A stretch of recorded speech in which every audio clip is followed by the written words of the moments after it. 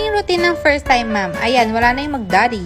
Pang night shift tayo at pang morning shift si daddy, ayan. Nilibot yung baby habang wala sila, ayan, nagpampako, tapos dumating na sila. Eh, puno daw yung diaper ng baby. Tapos pinadedi lang and then tulog na girl. Pagod na pagod sa gala. So ayan, tapos na tayo mag-pump. Swerte tayo kasi naka 8 ounce tayo ngayong morning. Siyempre habang tulog si little person na nagtupi muna tayo. Tapos niready ko na yung damit niya, tapos maglinis na tayo bote ngayon. Ano yung favorite kong gawin ngayon? Feeling ko sobrang na-relax ako pag naglilinis ako ng bote, girl.